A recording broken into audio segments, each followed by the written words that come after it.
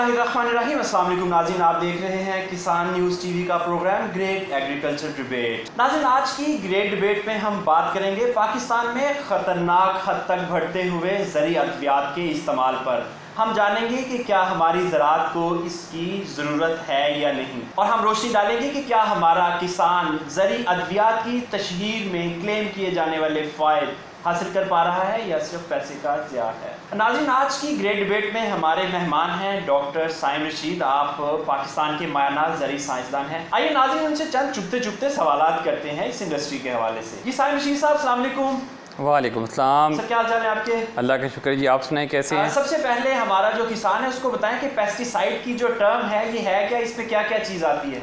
Benjamin साहब pesticide एक broad spectrum यानी जनरल टर्म होती है। इसका अंदर कोई एक ज़रिए अद्वियात शामिल नहीं है। बेसिकली पेस्ट से मुराद हर वो गैर ज़रूरी या गैर मतवक़ इन कीड़ा, जड़ी बूटी, बीमारी है जो कि आप अपनी फ़सल में नहीं चाहते, जो आपकी फ़सल की पैदावार में नुकसान दे सकती है।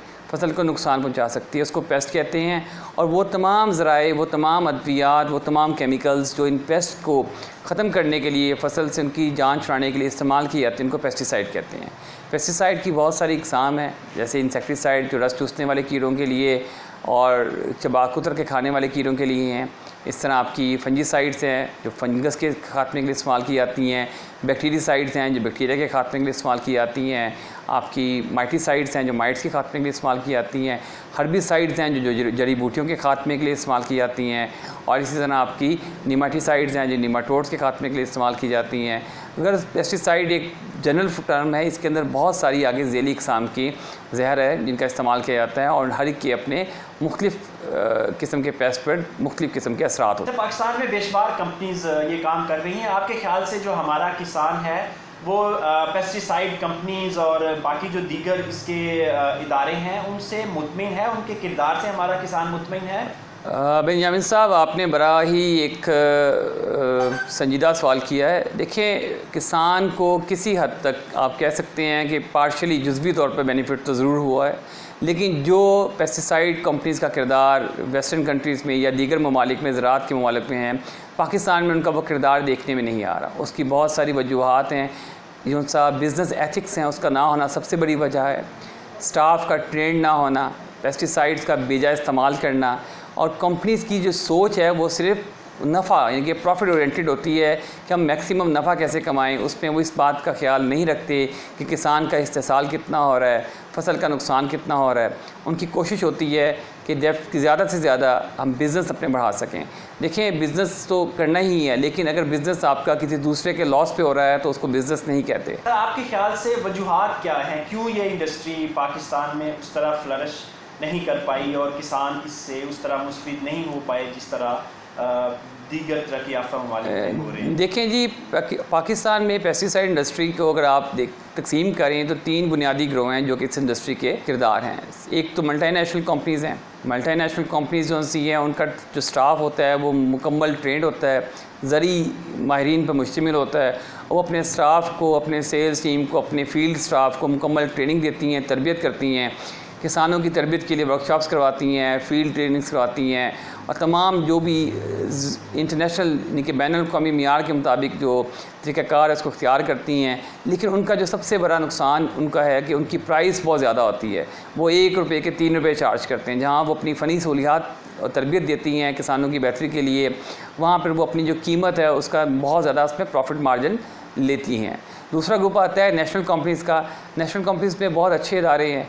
जो कि मल्टीनेशनल कंपनीज़ को किसी हद तक फॉलो करते हैं, उनकी पैरवी करते हैं किसानों को तरबियत देने में, उनको तलीम देने में क्रॉप मैनेजमेंट प्रोडक्शन सिस्टम को बेहतर करने में फ़ील्ड विज़िट करने में, और उनकी प्राइसेस भी बेहतर होती हैं। मल्टीनेशनल्स के मुकाबले में प्राइसेस उनकी काफ़ी बेहतर होती हैं, लेकिन जो इनका फ़ायदा है, वो मल्टी नेशनल जैसे ही होता है। नेशनल अदारों को मज़ीद बेहतरी की बहुत सख्त ज़रूरत है और नेशनल अदारों के अंदर जो सबसे बेहतरी का सेक्टर है कि इनका जो स्टाफ जितना ये हाईली ट्रेंड और ज़री माहरीन पर मुश्तमिल होगा, उतना ही इनका बिज़नेस वॉल्यूम बेहतर हो जाएगा और उनका जो सर्विस हैं, उसका मैार बेहतर हो जाएगा। तीसरा ग्रोथ जो आता है, उसको आप इलाकाई या लोकल कंपनीज़ कहती हैं, जो किसी एक सूबे में या किसी सूबे के एक हिस्से में काम कर रही होती हैं। सबसे बड़ा नुकसान जो उनका इस वक्त हो रहा है, वो फार्मर को इन कंपनीज़ का हो रहा है। उसकी मेन वजह इन कंपनीज़ में ज़री माहरीन का ना होना, स्टाफ की तरबियत का ना होना, ये सिर्फ़ डीलर्स फोकस होती हैं कि डीलर को मुख्तु किस्म के स्कैम और मुख्तु किस्म की जो सी आपकी तजावीज़ हैं, जिसमें से प्रॉफिट शो किया जाता है और कम ज़्यादा से ज़्यादा मार्जिन दिखाकर अपने प्रोडक्ट को जो सा वो लॉन्च करते हैं। उसमें ये नहीं देखते कि ये प्रोडक्ट जो सा या जहर है, इसकी फ़सल की ज़रूरत भी है कि नहीं है। फ़सल इसकी डिमांड भी है, अगर है तो कितनी है? और जो इसके बढ़ के जुल्म हो रहा है, वो डीलर का हो रहा है। डीलर जो हमारा है, वो सर्टिफाइड नहीं है, वो तलीम याफ्ता नहीं है। वो जिसके पास पैसे सरमाया है, वो ज़रियत ब्याज का डीलर बन जाता है, वो लाइसेंस लेता है, पंद्रह दिन की एक ना होने के बराबर ट्रेनिंग लेता है। अभी उस पर सख्ती हो रही है, महकमा उसको ट्रेनिंग को बेहतर करता जा रहा है, लेकिन उसके बावजूद जब हम अपने बच्चों का इलाज करवाते हैं हम डॉक्टर की क्वालिफ़िकेशन चेक करते हैं स्कूल में तलीम के लिए जाते हैं तो स्कूल की रैंकिंग चेक करते हैं उस की एजुकेशन चेक करते हैं तो पेस्टिसाइड या ज़री कारोबार के अंदर हम इन चीज़ों के बजाय सिर्फ़ एक चीज़ पे फोकस करते हैं कि इसमें मुनाफा कितना है। तो डीलर हजरा जो से होते हैं, ये इसे कह सकते हैं कि नीम हकीम ख़तरा जान वाला हिसाब होता है, ये फार्मर्स को उधार की सेल पे माल देते हैं, नकद माल बेचते हैं प्रॉफिट मार्जिन बहुत ज़्यादा रखते हैं और सबसे बड़ी नुकसानदेह चीज़ ये है कि बहुत ज़्यादा, तीन तीन, चार चार, पाँच पाँच वाज़ात मुख्तलिफ़ किस्म की जो अद्वियात होती हैं माइक्रो न्यूट्रंस होते हैं स्प्रे उनका मिक्सचर करवा के स्प्रे करवाते हैं, जो कि आपस में भी रिएक्ट करते हैं और फ़सलों पर नुकसानदेह इसरार मरतब होता है। हमारा किसान तो बेचारा भोला भाला है मोस्टली वो इन चीज़ों को नहीं समझता। आपके ख्याल से किसान जब पेस्टिसाइड स्टोर पर जाता है, उनको कौन कौन से चीज़ों का ख्याल रखना चाहिए कि वो अपनी फ़सल को बेहतर प्रोडक्ट दे सके और अपने पैसे का ज़्यादा कर सके। वो कुछ चीदा चीदा पॉइंट्स बताएँ जो हमारा फार्मर स्टोर पे जाके उन चीज़ों का ख्याल रखे। जी फार्मर को सबसे पहले स्टोर पे जाना ऐसे ही है कि आप, अगर मैं इसकी फिर एक एग्जांपल दूँगा कि जब आप फार्मेसी पे जाते हैं किसी मेडिसिन के लिए तो सबसे पहले आप डॉक्टर से कंसल्ट करते हैं। डॉक्टर आपको नुस्खा लिख के देता है, आपकी तबीयत चेक करता है, आपका टेम्परेचर चेक करता है, आपके क्लिनिकल लैब्स करता है टेस्ट करता है, उसके बाद आपको नुस्खा लिख के देता है। आप जाके फार्मेसी से वो ले लेते हैं और आपको फ़ायदा होता है। इसी तरह फार्मर को चाहिए सबसे पहले, जो उसको, उसके पास दस्तरस में ज़री माहिर है एग्रीकल्चर ग्रेजुएट लड़का है, जो फ़ील्ड ट्रेनिंग दे रहा है फ़ील्ड उसको सर्विस मुहैया कर रहा है, उससे अपने फार्म का विज़िट करवाए अगर उसको इसके लिए कुछ पेमेंट भी करनी पड़ जाए, वैसे नेशनल कंपनीज़ में और मल्टी में तो वो, इनको फ्री ऑफ़ कॉस्ट विज़िट करते हैं, आपके फार्म्स को फार्मर बुलाता है फार्म विज़िट करते हैं। लेकिन अगर भी, अगर आप फार्मर को वो फैसिलिटी जो सी है चंद सौ रुपये दे के, चंद कुछ पेमेंट करके भी अपने फार्म को विज़िट करवा ले तो मेरे ख्याल में उसको सबसे पहले ये काम करना चाहिए कि अपने फार्म का ई एच लेवल चेक करना चाहिए कि जो इंसेक्ट कौन सा है, उसका नुकसान किस हद तक है, मुझे स्प्रे करना चाहिए भी है कि नहीं करना चाहिए। अगर करना चाहिए तो कौन सा करना चाहिए, वो उनसे नुस्खा लिखवा कर लाए। उसके बाद उस नुस्खे को लिखवा कर मार्केट में आकर कम से कम तीन शॉप्स पर जाए, और तीन मुख्तलिफ़ कंपनीज़ के, उनकी कीमतों का मुजना करे। और उनके पास जो रिप्यूटेबल जो काबिल साख जिनकी अच्छी है, उस कंपनी का जो सस्ता प्रोडक्ट मिले साख वाली कंपनी में से उसको तरजीह दे। वो डीलर के पास इस मसले में मत जाए कि जी मेरा से उधार खाता है। उधार खाते में आपको जो जहर मिलता है, वो आप समझ लें कि पच्चीस फ़ीसद ही आपके लिए फ़ायदा मंद होता है, पचहत्तर फ़ीसद वो आपके लिए पैसे का नुकसान दे अच्छा सर, एक बड़ी अहम चीज़ है कि जितने भी हमारे ब्रांड्स बैठे हुए हैं अपने ब्रांड नेम के साथ जब चीज़ बेचेंगे तो ऑब्वियसली उसकी बहुत ज़्यादा कॉस्ट होगी। आप फरमाइए कि किसान कुछ ऐसा नहीं कर सकता कि जो एक्चुअल साल्ट है, वो साल्ट बेस्ड चीज़ परचेज़ करे, ताकि उसको कम पैसे अदा करना पड़े। देखें जी इसमें फिर वही बात आ जाती है ब्रांड जो ब्रांडिंग करते हैं ब्रांड के पीछे उनकी बहुत सारी मेहनत होती है। वो फ़ील्ड विज़िट्स करते हैं फ़ील्ड एक्टिविटी करते हैं और उसके नतीजे में वो क्या चाहते हैं कि उनका प्रोडक्ट डेवलप हो। प्रोडक्ट डेवलप उसी वक्त होगा जब ब्रांड होगा। जो आपका बात की आपने एक्टिव इंग्रेडिएंट्स के ऊपर साल्ट के नाम पर जहर बिक रहे हैं, उन, वो, उन कंपनीज़ के बिकते हैं जो फ़ील्ड में काम नहीं करती। तो वो, वही बात मैंने कर दी कि वो नीम हकीम खतरा जान वाला हिसाब है कि आप जाके किसी दवाई के लिए जाएँ तो वो आपको जो नीम हकीम होता है, कहता है, जी पैनाडॉल ले जाएँ। तो वो उसके साथ तीन, चार चीज़ें और दे देगा। तो फिर जब आप साल्ट की बात करेंगे तो साल्ट या तो हो ना कि आप मल्टी नेशनल से विज़िट करवा लिया, किसी फ़ील्ड एग्रीकल्चर ऑफिसर से विज़िट करवा लिया अपना फ़ील्ड उसके बाद उसने आपको ब्रांड लिख दिया उस ब्रांड के साल्ट का पता कर लें, जाके जहाँ से मुनासिब मिले ले लें, ये भी इसका एक हल है। लेकिन मैं इसमें एक अखलाकी पहलू की बात करूँगा कि अगर एक कंपनी के नुमाइंदे ने आपको बाकायदा विज़िट की है, अपना टाइम आप पे खर्च किया है और आपको सिखाया है, आपको बताया है, आपकी क्रॉप चेक की है तो आपके लिए कोशिश होनी चाहिए कि उन्हीं से कहें कि हमें आप बाहर आए तो अपना प्रोडक्ट दिलवाएँ। और मल्टीनेशनल की मैंने पहले बात कर दी है कि उनकी सर्विस बेहतर है लेकिन उनकी प्राइसेस बहुत ज़्यादा है उनको अपनी प्राइसेस में कमी लानी चाहिए। साइंस ऑफ़ पेस्टिसाइड इंडस्ट्री की बेहतरी और मावनत और मॉनिटरिंग के लिए जो हुकूमत का किरदार है क्या आप उसे मुतमिन है? अगर नहीं मुतमिन तो किस तरह आप बेहतरी लाई जा सकती देखें जी पेस्टिसाइड इंडस्ट्री की मावनत के लिए पंजाब के तमाम सूबों में आपका pest farming and quality control department काम कर रहा है। Pest farming and quality control department की बात करें तो इसमें काफ़ी जो लाइक अफराद हैं, मौजूद हैं, लेकिन इनको जो, इस वक्त इनकी जो अफादियत है, वो इतनी मौसर नहीं है। उसकी मेन वजह जो सी है अफराधी कुत का ना होना। मसलन एक तहसील लेवल पे एक पेस्ट वार्निंग ऑफिसर है। एक तहसील लेवल में एक पेस्ट वार्निंग ऑफिसर के पास नबे हज़ार या एक लाख एकड़ ज़मीन है। वो कैसे विज़िट कर सकता है? वो कैसे तमाम डीलर्स को विज़िट कर सकता है? वो अफराधी कुत का ना होना न्यू टेक्नोलॉजी का ना होना, गाड़ियाँ इनकी बहुत पुरानी तीस तीस साल पुरानी गाड़ियाँ इनके पास इनको दी हुई हैं महकमे को। वसाइल की कमी है।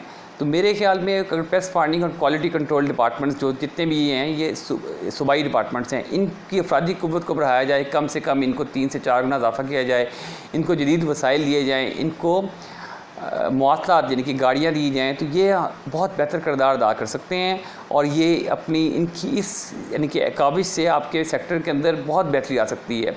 और दूसरी बड़ी बात जो मैंने फ़ील्ड नोट की है फ़ील्ड के अंदर कि जितने भी आपके ये pest farming and quality control हो गए एग्रीकल्चर एक्सटेंशन दफातर हो गए, जो लोग फ़ील्ड में काम कर रहे हैं फार्मर्स को तरबियत दे रहे हैं पेस्टिसाइड का बता रहे हैं फर्टिलाइज़र का बता रहे हैं, बीज का बता रहे हैं उन लोगों के जो फ़ील्ड स्टाफ है स्पेशली जो गजरेट ऑफिसर्स हैं, जो कि माहरीन पर मुश्मिल होते हैं, जिनका काम सिर्फ़ एग्रीकल्चर से रिलेटेड है डिस्ट्रिक्ट गवर्नमेंट्स उनको बहुत सारी गैर मुतल असाइनमेंट्स है। कि डेंगी की असाइनमेंट आ गई प्राइस कंट्रोल कमेटी की असाइनमेंट आ गई इलेक्शन की असाइनमेंट आ गई, वैसे भी बहुत सारी दीगर असाइनमेंट्स में बिज़ी रखती है, फिर वो अपने काम पर फोकस नहीं कर पाते।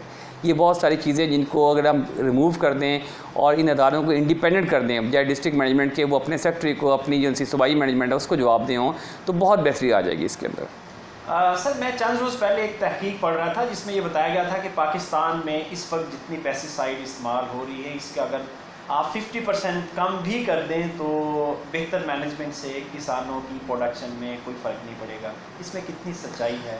देखें जी आ, मैं फिर बात करूँगा इसके 50 परसेंट कम करने की बात तो आ, मैं नहीं करूँगा। बात हो रही है कि बेहतर इस्तेमाल की कि बेहतर वक्त पे मुनासिब जहर के इस्तेमाल की जो फ़ायदा मंद हो। और ऐसा जहर का इस्तेमाल किया जाए जो कि माहौल दोस्त हो ताकि उसके कम से कम असरात आपके दोस्त कीड़ों पे इन्वायरमेंट पे आएँ माहौल पे आएँ और इंसानी सेहत पे इसके कम से कम इस्तेमाल आएँ।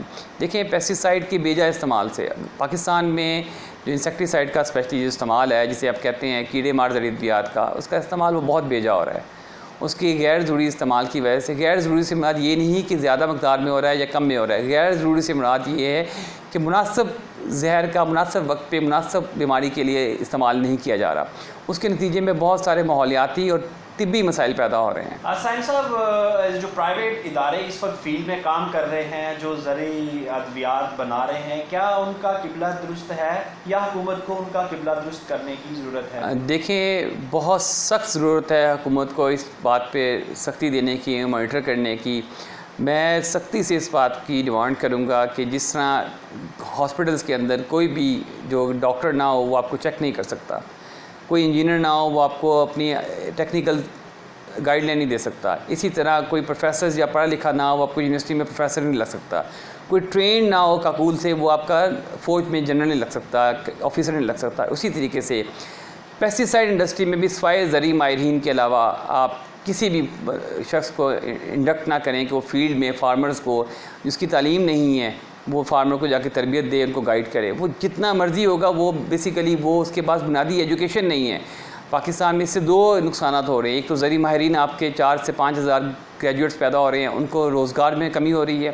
दूसरी बात ये कि जो सबसे बड़ा नुकसान है अनजुडिशस यूज़ हो रहा है आपका पेस्टिसाइड का सीड का फर्टिलाइज़र का, जो कि बहुत ज़्यादा नुकसानदेह है आपकी इकोनॉमी के ऊपर, आपकी माहौल के ऊपर, सेहत के ऊपर और सबसे बढ़ के ज़मीन की और फसलात की हालत के ऊपर। नाजिन जब भी आपके पास कोई प्राइवेट कंपनी से नुमाइंदा आए तो उसकी क्वालिफिकेशन ज़रूर पूछ लीजिए। जैसे कि साइंस साहब ने फरमाया कि प्राइवेट इदारे अक्सर नॉन प्रोफेशनल लोगों को फ़ील्ड में भेज देते हैं जस्ट अपनी सेल इंक्रीज़ करने के लिए। नाजिन आपको बताते चले कि गुजशत चंद माह में पाकिस्तान के बरामदी ऑर्डर्स अद्वियात के बेजा इस्तेमाल से वापस आए हैं। यानी पाकिस्तान की एक्सपोर्ट को उन्होंने बैन किया है प्रोडक्ट्स को। एक्सपोर्ट से मना किया है। हम साइम रशीद साहब से पूछेंगे कि इसकी वजूहत क्या हैं और हुकूमत को इसके बारे में, इसके तदराक के लिए क्या इकदाम करने चाहिए? बिनयामिन साहब, ये बहुत इंपॉर्टेंट सवाल आपने किया है। देखें जी, एक टर्म इस्तेमाल होती है असलाह इस्तेमाल की जाती है, उसे कहते हैं अनजुडिशस यूज़ यानी कि किसी भी चीज़ का गैर मुनफाना इस्तेमाल। गैर मुनफाना में कुछ ऐसे आते हैं कि उसकी ज़रूरत नहीं थी नंबर वन या ज़्यादा मकदार में इस्तेमाल कर लिया गया, या किसी का तदारक कम चीज़ से किया जा सकता था, हमने ज़्यादा मौसर चीज़ इस्तेमाल कर ली। ये सब का सब गैर मुनसिफाना इस्तेमाल में आते हैं। पेस्टिसाइड में जो, इस वक्त आप एक्सपोर्ट कर रहे हैं, स्पेशल आप यूरोपीय यूनियंस को तो वहाँ पे या जापान को, या आप कोरिया को, या आप इस वक्त अमेरिका को करते हैं, ऑस्ट्रेलिया को करते हैं, जितने भी फ़र्स्ट वर्ल्ड कंट्रीज़ हैं वो अपनी आवाम की सेहत के लिए बहुत ज़्यादा कॉन्शियस हैं। बहुत हिसास हैं वो, उनकी सख्ती बहुत ज़्यादा है। वो चेक करते हैं M R L maximum residual limit किसी भी पेस्टिसाइड की, जहर की, जो आपने इस्तेमाल किया है, उसकी हार्वेस्टिंग के बाद, उसकी बर्दाश्त के बाद, जो कंज्यूमेबल हमारी मिलता है, उसके ऊपर उसकी लिमिट कितनी है, किस हद तक है। अगर वो नुकसानदेह हद में हो तो वो उसको वो रिजेक्ट कर देते हैं। तो ये कैसे हो रहा है? पाकिस्तान में पाकिस्तान में बहुत सारे ऐसे केमिकल्स का बेजा इस्तेमाल किया जाता है, ज़रियत का इस्तेमाल किया जाता है, जो कि रिक्वायर्ड नहीं होती। हम उसके बजाय हल्के ज़रियत के इस्तेमाल से, कम इस्तेमाल से या उनके अल्टरनेट बेहतरीन जो प्रोडक्ट हैं, उनके इस्तेमाल से एम आर एल कम कर सकते हैं। हमारी जो कंज्यूमेबल प्रोड्यूस पैदा होंगी, उनके ऊपर नुकसानदेह असरात कम होंगे ज़रियत के और वो इंसानी सेहत के लिए नुकसान देनी होगी। पूरी दुनिया में इस वक्त तकरीबन दो लाख से ज़्यादा अनइंटेंशनल डेथ होती हैं, जिन्हें गैर आज़ादी कत्ल कहा जाता है मर्डर कहा जाता है। वो पेस्टिसाइड के गैर ज़रूरी इस्तेमाल की वजह से हैं जिसमें ना ही मर्डर करने वाले की इरादा होता है, लेकिन जो कि पेस्टिसाइड का गैर ज़रूरी इस्तेमाल है, उससे बहुत सारे मसाइल पैदा होते हैं। पाकिस्तान में इस वक्त बहुत सारी पेचीदगियाँ पैदा हो चुकी हैं। आपकी जो खुराक की वजह से आपकी वुमेंस में हमल के मसाइल पैदा हो रहे हैं, बच्चों में बहुत सारे मसाइल आ रहे हैं शुगर ब्लड प्रेशर बहुत सारा फैक्टर पैदा हो चुका है। इसकी मेन वजह आपकी अनहेल्दी फ़ूड है। और अनहेल्दी फ़ूड में एक किरदार जो है वो गैर मुनफाना इस्तेमाल भी है पेस्टिसाइड का। इसके लिए गवर्नमेंट ने, मैं पिछले दिनों में मेरी मुलाकात हुई डॉक्टर असलम साहब से director general pest farming and quality control Punjab वो बहुत अच्छा और एहसन कदम उठा रहे हैं। वो कम उन्होंने सबसे पहले इस साल कॉटन के ऊपर, जो सा उन्होंने एक कैंपेन लॉन्च की है कि नबे दिन तक इब्तदाई तौर पर आप गुलाबी सुंडी के लिए कोई स्प्रे मत करें, बल्कि ऑर्गेनिक नीम ऑयल कोरतिमा तंबाकू के हींग के स्प्रे करें। ताकि एक तो ऑर्गेनिक स्प्रेस के नुकसान नहीं होंगे और उसके दूसरा, उसके नतीजे में अगर आप ज़्यादा स्प्रे नहीं करेंगे तो वाइट सफैद मक्खी का हमला आपकी फ़सल पे नहीं होगा।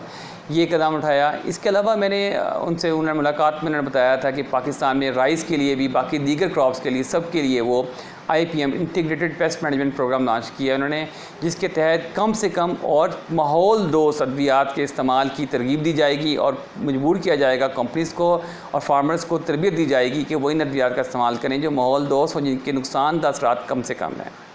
आ, सर क्या पाकिस्तान में कोई कानून साजी है जिसके मुताबिक हम कितना पेस्टिसाइड स्प्रे किस जगह पे कर सकते हैं किस जगह पे नहीं कर सकते? या ये फार्मर और कंपनीज़ बिल्कुल मादर पिदर आज़ाद हैं जो मर्ज़ी देखिए जी पाकिस्तान में इस सिलसिले में किसी किस्म की कोई कानून साजी नहीं है।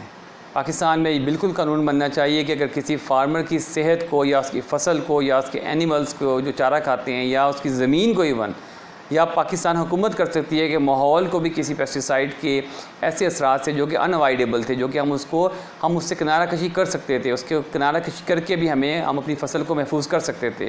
लेकिन उसका इस्तेमाल करवाया जाए तो पाकिस्तान गवर्नमेंट को कानून साजी करनी चाहिए कि उसके ख़िलाफ़ जुर्माने हों फ़ाइन्स हों, या जो लॉसेस हुए हैं, उनका तावान वसूल किया जाए उन कंपनीज़ के साथ। इसके अलावा सबसे बड़ी बात यह है कि पाकिस्तान में जितनी भी आपकी पेस्टिसाइड की फार्मेशन कंपनीज़ हैं, इनके ऊपर इन्वायरमेंटल टैक्स लगाया जाए।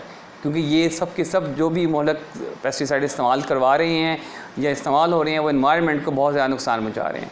तो इन्वायरमेंटल टैक्स का लगाना बहुत ज़रूरी है इनके ऊपर। उस इन्वायरमेंटल टैक्स को अकेन हुकूमत इस्तेमाल करे फार्मर्स को ट्रेनिंग देने के ऊपर, महकमे की कारकर्दगी बढ़ाने के लिए और के पाकिस्तान में और एक अवेयरनेस पैदा करने के लिए कि कौन सी जो से जहरीले जो से आपकी अद्वियात हैं, वो हमें इस्तेमाल करनी चाहिए और कि इनको हमें अवॉइड करना चाहिए। इसके अलावा इंटरनेशनल मार्केट को देखते हुए इंटरनेशनल दुनिया में बहुत सारी जो सी अद्वियात हैं उनको बैन कर दिया जाता है। मैं मसलन एग्जांपल लूँगा थायोफ्रेंड मिथाइल एक फंजीसाइड है।